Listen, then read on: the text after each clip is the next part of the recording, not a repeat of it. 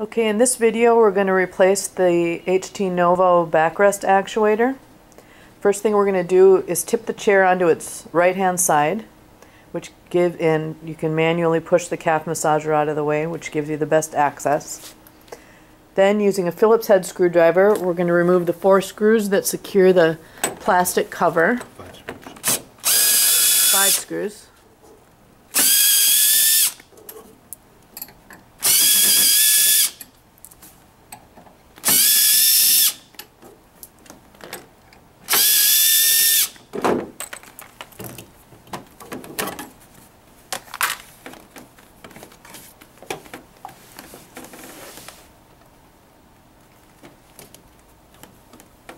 And remove these four screws.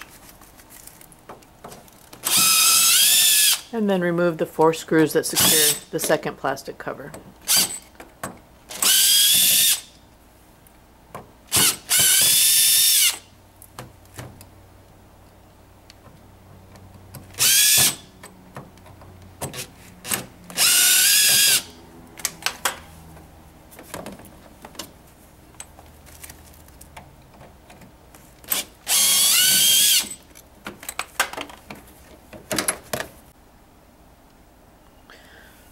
Okay, next we're going to remove the connector junction box cover, which um, may be secured with a zip tie. If so, cut it and then simply pop the cover off and disconnect the two connectors. The backrest actuator is secured to the chair frame um, using 6 millimeter Allen screws. So use a 6 millimeter Allen wrench on the top and an adjustable wrench on the bottom to remove the screw. And then use this, do the same thing at the other attachment point.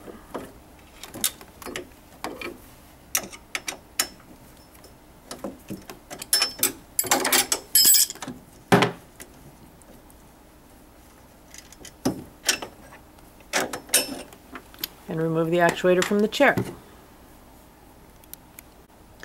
When you remove the actuator from the chair, uh, the metal bushing will likely fall out of each of the mounting points. So you need to reinsert that bushing into the mounting point, align it with the mounting point on the chair,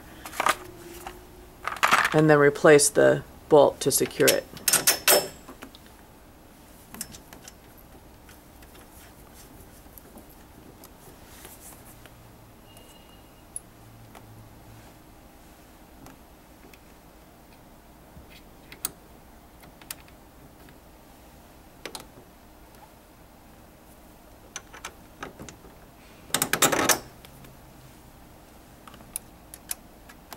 Important that this lock ring is out.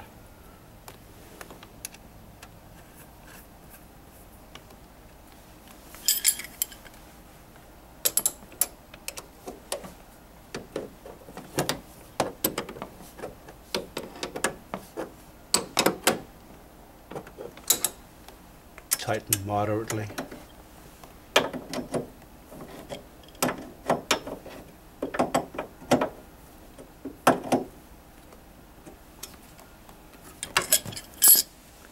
Once the actuator is secured to the chair, you just reconnect the connectors.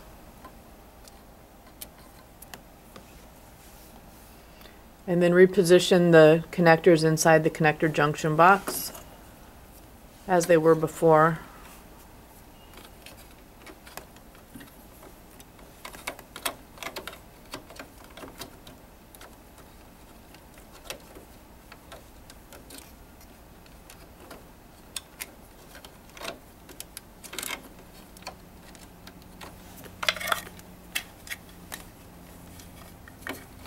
And snap the cover into place. It's important to make sure you're not pinching any wires when snapping the cover into place. Then resecure the junction box cover with a zip tie and replace the zip tie to secure the backrest actuator cables to the footrest actuator cables. Okay, so when replacing the plastic cover, first you need to align the two holes in the metal bracket with the holes in the chair frame. And then align this, the corresponding holes in the plastic cover on top of those metal frame holes. So the screws are going through, the two screws go through both the plastic cover and the metal bracket.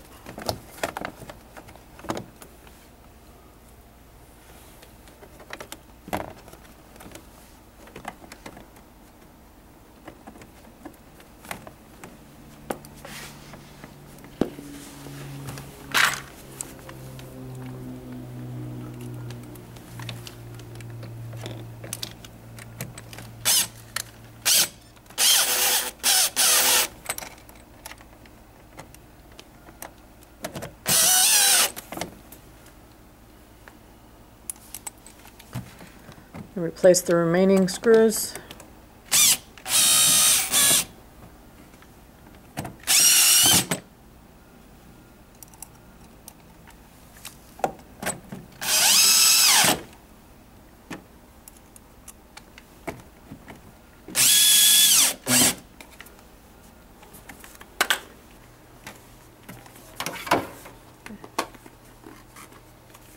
Make sure you orient it properly, align the flat end of the cover with the rear of the chair.